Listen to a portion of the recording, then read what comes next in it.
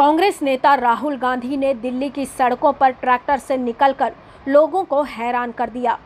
दरअसल देश की राजधानी दिल्ली की सीमाओं पर देश भर के किसान करीब एक साल से विरोध प्रदर्शन कर रहे हैं।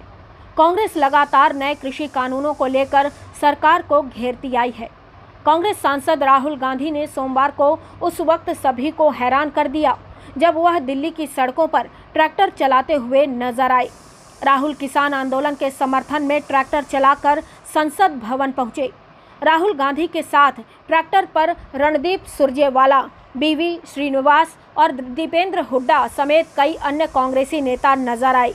इस दौरान सुरजेवाला और श्रीनिवास को हिरासत में ले लिया गया है।